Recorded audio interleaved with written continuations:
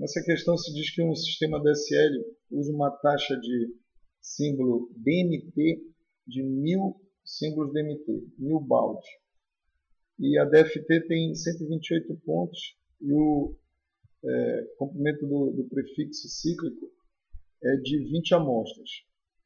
Então a gente assume aqui no item A que não há oversampling, ou seja, a frequência de amostragem é a mínima possível para atender ao teorema de amostragem de Nyquist.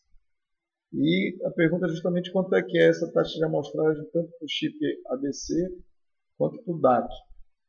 E o outro item é qual é o espaçamento né, entre os tons, ou seja, as subportadoras ficam espaçadas né, de ΔF e a gente quer saber esse valor.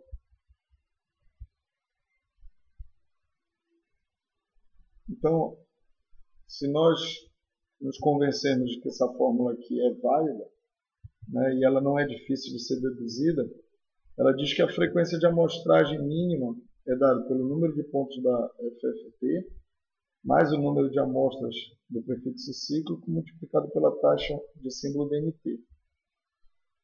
E aí a gente tem então que 128 pontos da, da DFT, né, isso mais 20 do prefixo cíclico, somados e multiplicados por 4.000 dá 592 kHz de frequência de amostragem.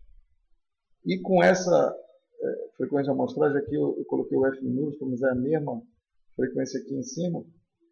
É, se eu dividir pelo número de pontos da FFT, eu tenho espaçamento entre os tons, que aqui no caso seria 4.6 kHz aproximadamente.